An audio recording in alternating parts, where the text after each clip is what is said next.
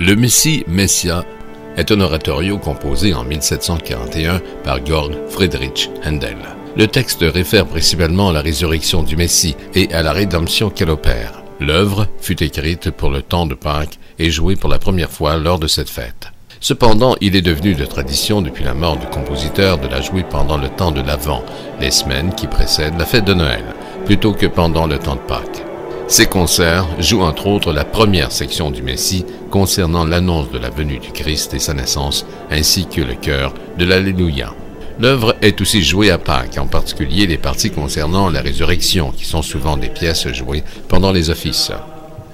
Il faut dire que l'oratorio a été écrit en 1741 à Londres sur un livret inspiré de la Bible, mais n'a été créé que le 13 avril 1742 lors d'un gala de charité au Temple Bar de Dublin.